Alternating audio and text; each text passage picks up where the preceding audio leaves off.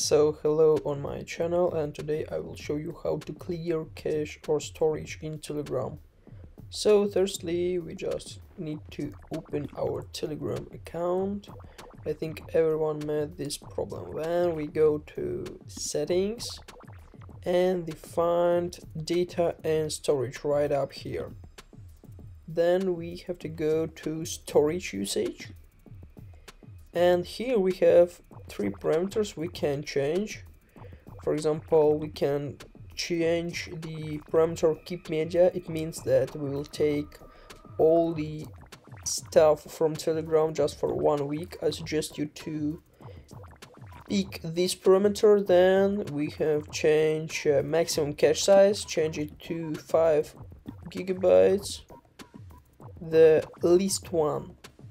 And then clear all caches we have downloaded.